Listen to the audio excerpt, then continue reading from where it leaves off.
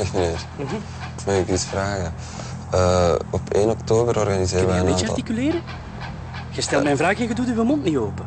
Ah, sorry. Hoe staat jij hier ook? Stel uw vraag. Dus eh, op 1 oktober organiseren wij in Antwerpen, Gent, Brussel en Charleroi een aantal concerten voor verdraagzaamheid. Eindelijk. En wij zoeken zo... Jij bent dus Tim Barman. Ik had het direct kunnen zien aan dat grijs vel van u en die wallen onder uw ogen. Heb je drugs gepakt? Jij, jij moest u schamen. Jij en heel die troep artiesten die meedoet aan dat concert. Een beetje met uw gat staan draaien op jullie ivoren podium. Terwijl hier beneden, in de echte wereld, het iedere dag oorlog is. We worden omsingeld door een bende roofdieren. Met bommen en messen. En wat doe jij? Liedjes zingen, meneer. Voor verdraagzaamheid, meneer. En oh, lekker multicultureel en alles bij zijn vrij. Je zou beter wat vroeger opstaan. Lui gat. En uw ogen openen in plaats van vriendjes te maken met de negers en de makakken en al dat bruinkrapullie. Wacht, wacht, wacht, wacht. Mag ik dat niet zeggen? Is dat niet politiek correct? Dat, hè, dat is nu vrije meningsuiting, zeg.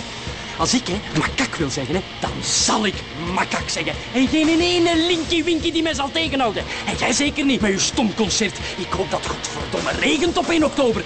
Dat het met bakken uit de hemel valt. En dat je daar als natte kikkers moet staan bevriezen. Zoals op uw onnozele witte mars. Krapul!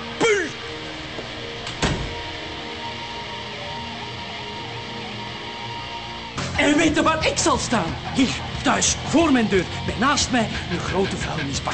En iedereen die in die vuilnisbak een cd gooit van een van die omhooggevallen circusartiesten van u, krijgt van mij een frisse Vlaamse pint. Gratis. En voor niks. Ga dan maar ander werk zoeken. Aap.